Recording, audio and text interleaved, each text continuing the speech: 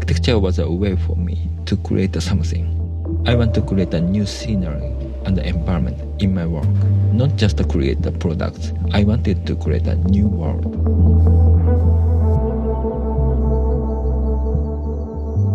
Every time I travel, I look for inspiration for new space. Cenote in Mexico is like an entrance to another world. I imagine it as an extremely deep and dark world.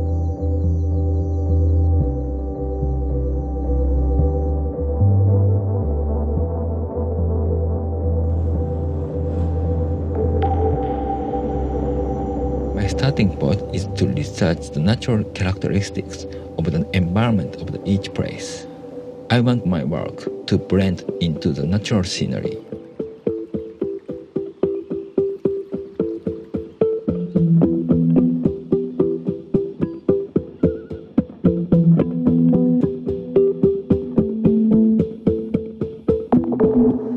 The delicate sense Japan has given me is a very big influence for me.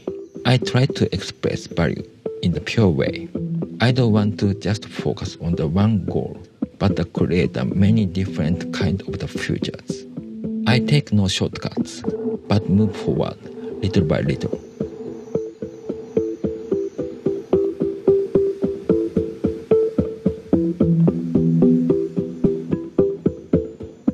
For me, man-made things have the same meaning as natural things because human being is also one of the nature.